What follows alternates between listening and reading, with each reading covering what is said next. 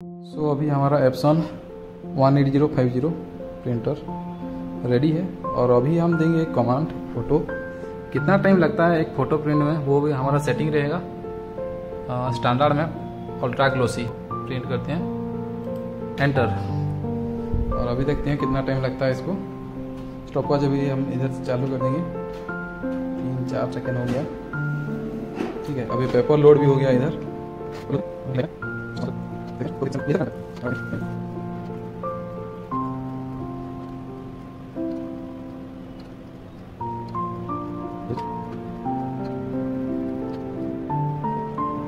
Complete.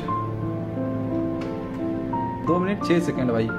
दो minute छः second लगा एक ए थ्री फ़ोटो प्रिंट का और प्रिंट क्वालिटी भाई देख सकते हैं। ठीक है तो ए थ्री प्रिंट हमारा हो चुका है और गजब लग रहा है भाई। तो ऐसे ही वीडियो देखने के लिए आप सब्सक्राइब करें हमारे चैनल को।